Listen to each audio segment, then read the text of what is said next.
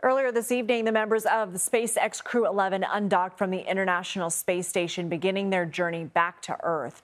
The crew is leaving a month early after NASA announced that an unnamed member of the team experienced an undisclosed medical concern.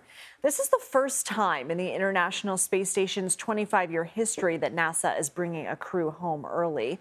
Joining us now is Clayton Anderson, a former NASA astronaut who spent time on the International Space Station. He's also the award winning author of the book, The Ordinary Spaceman. So good to have you. As someone who's been to space and you've gone through the process of disembarking, what's happening now as the crew gets ready to return to Earth? Well, there's lots of things to worry about. They had some late packing issues, I think, that they've surmounted and they've undocked now. And they're just floating and enjoying uh, some time to be amongst themselves alone as a crew as they get ready to do their deorbit burn, which will put them on a trajectory to splash down um, sometime around 2 or 2.30 this morning, this coming morning. Looking at this early return, does this raise any questions for you? I mean, I know that it is the first time this has happened, and our guest last night said he was surprised it hasn't happened before. But anything that that comes up for you that you would like answers to? Well, I think it's important. You know, astronauts are screened, American astronauts and and internationals as well. They're screened pretty well with respect to their medical histories, so that we don't have to deal with problems like this.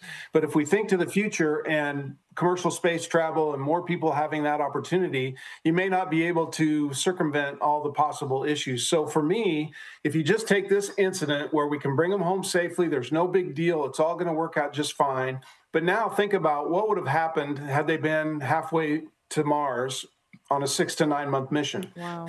You couldn't bring them home, right? So what do you do? So can, do you need to have a doctor on board? Do you need to have a medical facility uh, in your spaceship that's traveling from point A to B? And in this case specifically, imagine this: if if we would have needed an IV for this crew member, and you put the needle in the arm and all those things and you have the saline flowing. Now what do you do about their spacesuit? Do you put them in their spacesuit or leave them out of their spacesuit?